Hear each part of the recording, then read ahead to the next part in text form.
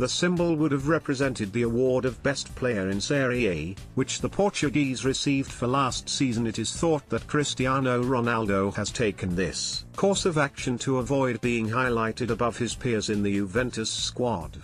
Throughout his career, Ronaldo has often been seen as anything less than selfless, but this reported gesture will leave many of his critics clawing at dust. As for the game itself the action on the pitch heavily represented the rivalry between these two teams. Serie heavyweights Juventus and Napoli faced off on the second weekend of league games, with Juventus prevailing 4-3 in an instant classic. Danilo, Gonzalo Higuain and Cristiano Ronaldo opened the scoring for Juventus before they were pegged back through goals from Costas Manolas, Hirving Lozano, and Giovanni Di Lorenzo. However, there was a twist of fate when defensive rock Kalidou Koulibaly scored a horrific own goal in extra time, handing Juventus all three points.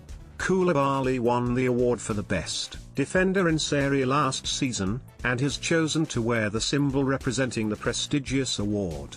Others who won awards included, Fabio Quagliarella for Best Forward, Sergej Milinkovic Savic for Best Midfielder, Samir Handanovic as Best Goalkeeper, and Nicolo Zaniolo as Best Youngster.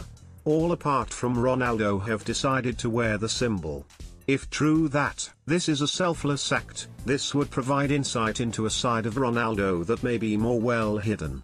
Next up for Juventus is an away trip to Fiorentina, whilst Napoli welcome Sampdoria to the San Paolo Stadium. Juventus will look to continue their winning start to the season, whilst Napoli will hope to bounce back from last weekend's agonizing loss. Both matches will currently be played on Sunday, September 15th. Let's block ads.